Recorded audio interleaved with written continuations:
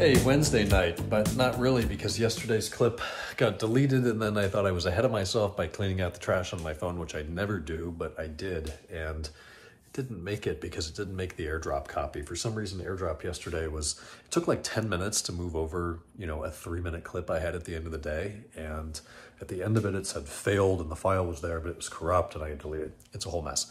Anyways, hot tub guy came out and fixed the hot tub, which was working last weekend. And then for whatever reason, the pump made a weird noise when you tried to turn the jets on and it just died. So the hot tub guy came out, took the cover off the back of the hot tub, found out that the pump is covered in like white calcification uh, from moisture exposure, whatever not cleaning the hot tub enough. I mean, it's extremely clean. We put chemicals in it every week, but you're supposed to change the entire water, which is 330 gallons on a four month interval. We don't use it enough. So we thought, oh, we could probably go six or 12 months. Nope, you still have to change it. It's like an oil service for the hot tub.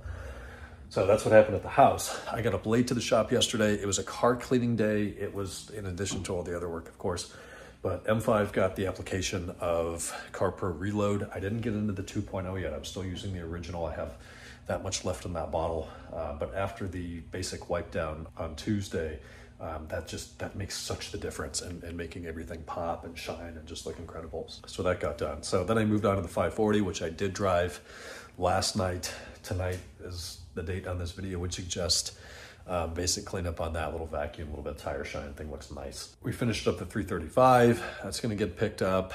Um, just, just a lot of progress across the board which is good to see. So, so that's going to be it for Wednesday's video. No Enfuego. We don't have time for stuff like that anymore, and I do miss it. I see the Instagram posts; they're over there, and I'm just at work selling parts and collecting money. So, you know, life has to happen. Talk to you guys tomorrow.